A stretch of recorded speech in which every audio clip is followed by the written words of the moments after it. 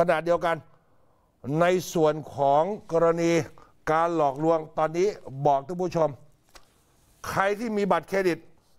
ท่านต้องตรวจ SMS SMS สักนิดหนึ่งนะเผื่อมีกรณีโทรมาท่านต้องรีบแจ้งเป็นธนาคารเลยนะ เพราะอะไร พวกตัดบัตรเครดิต ไปซื้อโฆษณา t ิ k t o k ซื้อโฆษณา Google Facebook ระบาดเมื่อวานนี้ก็มีอีกอยู่ตอนนี้แปลว่ากำลังระบาดนะ ก่อนหน้านี้ก็คือคุณหมอลิลลี่นะคะ ล่าสุดมีผู้ใช้ Facebook ท่านหนึ่งแท็กขอความช่วยเหลือมาที่เพจพิยุทธ์นั่นแหละค่ะ บอกว่าเยอะเลยโดนไปแล้ว ดิฉันโดนแล้วค่ะ โดนแฮ็กบัตรเครดิต โทรแจ้ง KTC แล้วอายัดบัตรเก่าทันที ถ้าตรวจสอบแล้วไม่ได้ใช้จริงเขาบอกจะคืนเงิน คืนเงินแน่นะวิ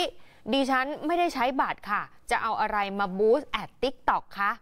เป็นซุปตาร์แต่ไม่ใช่ยูทูบเบอร์หรืออินฟลูเอนเซอร์ค่ะโอ้รายนี้โดนไปเกือบ30,000เห็นว่านี่